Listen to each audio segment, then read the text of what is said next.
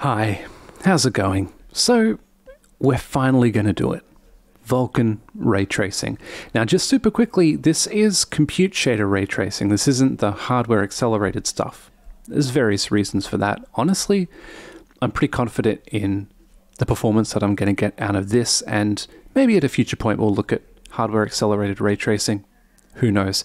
This video, this first video in the series, is also going to be a little bit informal. It's going to be a bit of a sit down because, well, how do you ray trace in Vulkan? First thing you need to do is set up the whole program, and that takes time. I mean, takes a little less time because I'm adapting my previous Vulkan code base, but it's definitely not something that I wanted to explicitly write out line by line. It's too much. It's too much, man. That's too much. Okay, so just super quickly, I will talk about some of the changes that I made. So, oh, I don't have my notes on me. One of the big things is the pipeline. So, if I just open up the engine, I have got now not one pipeline, but multiple pipelines. What's different about that? Absolutely nothing. I had that before, but the big thing is if I just go to the bit where I build my pipeline, I'm making a traditional rasterized pipeline in order to draw the screen. But before I do that, I need to run a compute shader and output to an image, which will then be used as the texture for the screen. In order to do that, I need to make a compute pipeline. Now, what's the difference between a compute pipeline and a, a standard render pass pipeline? It's, it's quite big. Um, it's significantly simpler to construct a compute pipeline. All we need to specify is the SPIR-V code, which we're going to be running, and the descriptor set layout, so the resources which are going to be attached, and that's it. That's all we need. So if you're interested, I mean, of course, as always, code is provided and I would recommend looking through it.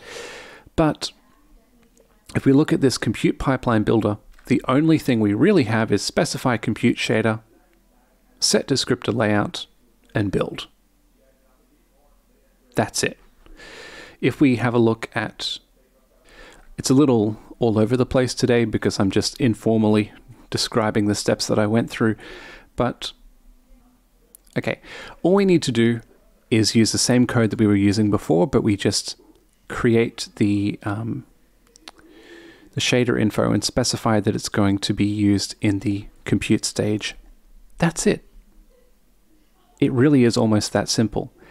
Compute shaders are much simpler than standard stuff. In fact, I almost wish that I could get away with not creating a render pass at all and just copy the raw data to the image and then present that on the screen. Unfortunately, Vulkan wouldn't let me get away with that, but that's another thing. So the only other big thing, I guess, besides the pipelines is the image that we're rendering to. Now, the image that we're rendering to has two uses. It's a storage image, which is essentially just a big allocation of memory that we can work with. Image, storage image. Okay. So it's very similar to a texture, except when we create it, we, we don't load a file to it, we just allocate some amount of size, pixels. Now for the usage, we need to specify that it will be used as a storage image, but then we're also going to be reading off it to put it onto the screen, so it will be sampled as well. We'll have that. We'll make it device local to speed up the usage. So this image layout transition is a whole, this is a whole thing. I'm going to transition it to the general layout. Now general is the layout which works with everything. Now here's the really, if I can just insert this rant, here's the really perverse thing about image layout transitions. Uh, when I was at Vulkanised 2023, the convention earlier in the year, I talked with some people who knew what was happening, who knew what was happening, knew what was going on, and they said that in most graphics cards, an image layout transition is a no-op. But if you don't put an image transition with the appropriate enum, it will throw a validation error or crash the program or, or kill the frame rate or do crazy things. But anyway, I, I probably cut most of that stuff because it was just rambling. But let's go to the render stuff. This is render? Okay, this is render. Sorry, I'm just... I get motion sickness when I flash this code past my eyes. There's so much of it. Okay, so first thing we do is I run this image barrier, this uh, this Vulkan barrier, and that essentially grabs the image and transitions it from an undefined layout to a general layout. Um, and that happens at this basically at the start before anything occurs, and the transition occurs right before the compute shader writes to the memory contents. And that has to be done every frame. Now, what I did find is I was then attempting to when I was playing around with layout transitions, I was trying to get it from a general layout to a color attachment layout, and it was it just wasn't working. It was just really messing things up. I even ran RenderDoc and I couldn't get to the bottom of it. So I actually went with this dummy transition, which just goes from a general layout to a general layout. Okay, so after I said that, I stopped recording, sat down for five minutes, and just fixed the problem that I spent like an hour or two on last night. Hey, it's fine. Maybe I was tired. So here's the here's the situation. When I make the color attachment, we have that when we load it. Of course, we keep what was previously in there. When we store it, yeah, that's fine. Let's let's keep it there. Now the initial layout will be um, color attachment optimal because of course we're about to write it to the we're about to write it to the screen. So then when we go back to the engine, we do our thing. We transition it from undefined into general. Then it's in a general layout, so we can dispatch the ray tracer. We can use that texture as a storage image, no problem. And then the trick is we need to enforce this barrier before the next render pass begins. We'll be getting a new render pass in this draw commands. So at this point, before the render pass begins, we need to transition it from a general layout into a color attachment optimal layout. And that is not there. Here we are. Okay and that is occurring. So the barrier is between the memory write of the compute shader and basically the beginning of the next render pass, which is uh, top of pipe. We go from general to color attachment optimal. And I think this is actually improving the performance a little bit. So I think before I was getting just just on 4000 and now it's variable. Uh, it could just it could just be in my head. Anyway, that's fine. At least we've got no errors. Okay. If you enjoy my rants, just comment down below, say, nice rants, but we need more of them.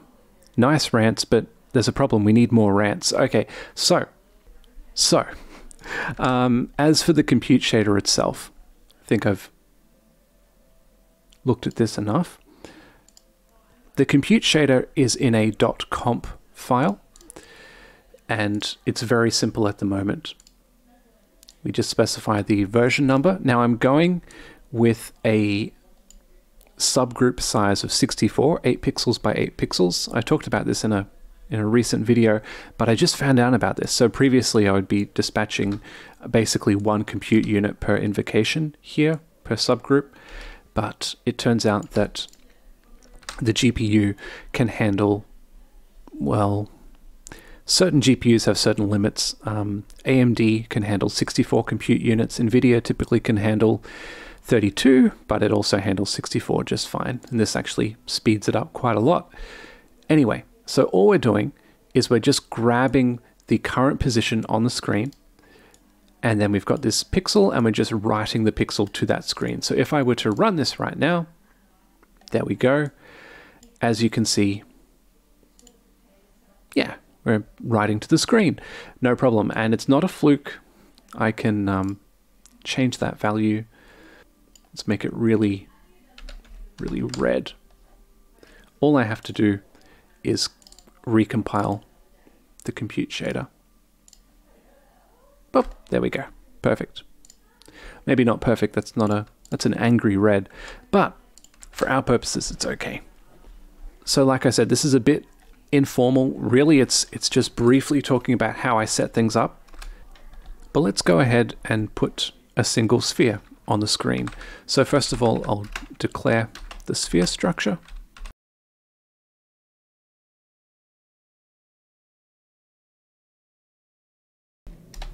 And then I'll go ahead and declare a camera.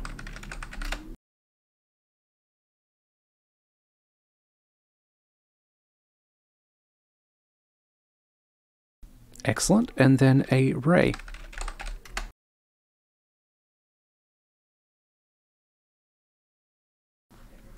Now I'll just go ahead and declare the, um, the hit function that I'm going to use.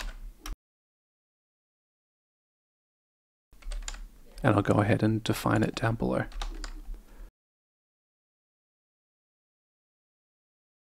So this is a ray tracing in Vulkan series, but, uh, and I mean, I will be going through concepts when they naturally occur, but just for this first one, the concept of how to do ray sphere intersection. I've gone through this so many times. I am just going to present this. There's an explanation, but it just it takes time to whip out my paper and stuff. It's it's fine. I'll be explaining things in future. But let's go ahead with this one.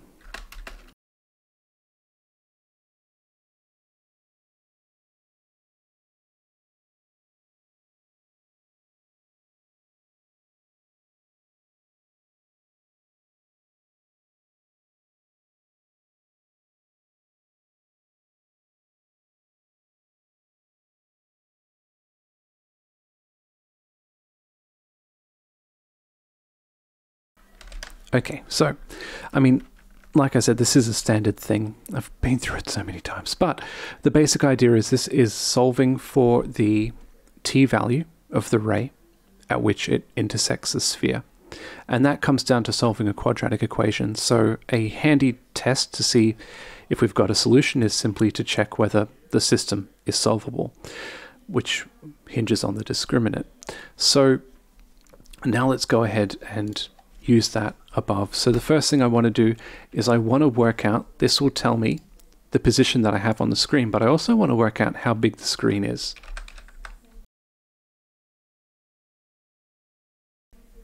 Then what I want to do is I want to find the proportion to the left or right or up or down that the pixel is on the screen. I'm going to name this horizontal coefficient.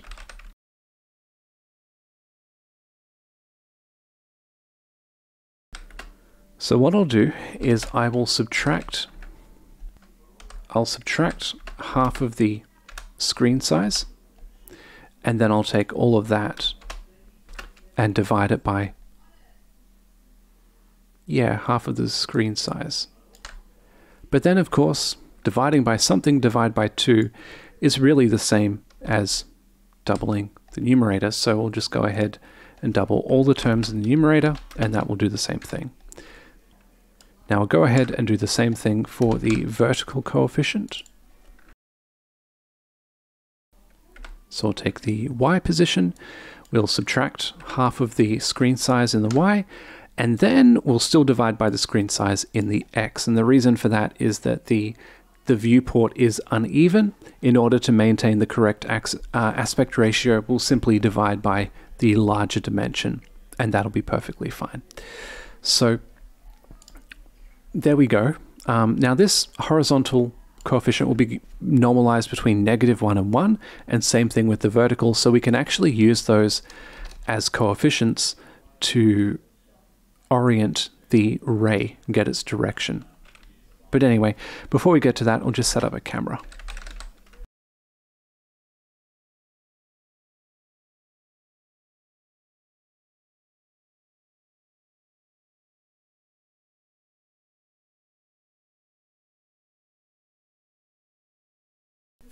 Okay, and then we'll set up a sphere.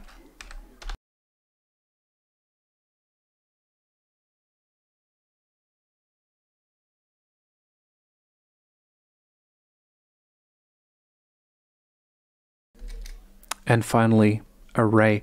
So the ray is going to be oriented at the camera's position facing in the camera's direction. So getting the position is easy enough. And then in order to set the direction, it will be a vector sum of the camera's forwards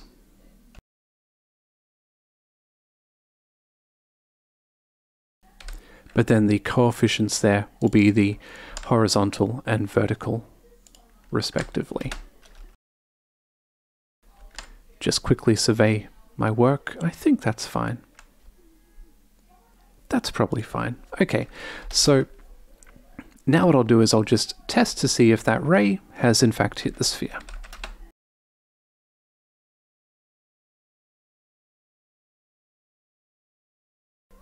And if it has, we'll just, yeah, we'll send the sphere color to the screen. Okay, good. So now we'll just quickly run that. And we could potentially be running into some issues, so I'll just run it in terminal mode. No errors. Okay. Excellent, so let's give that a go. Whoop, there we go. Very nice, very nice. So that's it, but from this little acorn, big things will grow. So thank you for sticking through it.